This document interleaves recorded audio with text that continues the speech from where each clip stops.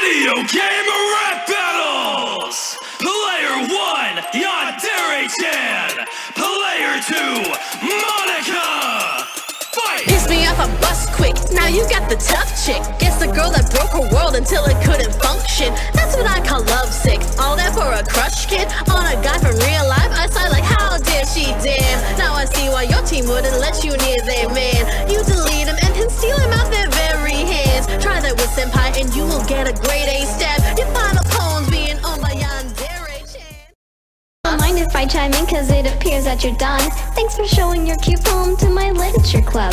It must be your first time from those rhymes that you wrote But as the president I'll help a bit. So here's a few notes. Your content is a flop cause you're stuck on the genre. Flowing for the hell of it instead of throwing shots off. I'm completed selling hits, my masterpiece is top notch. You're still in development, forever getting cock blocked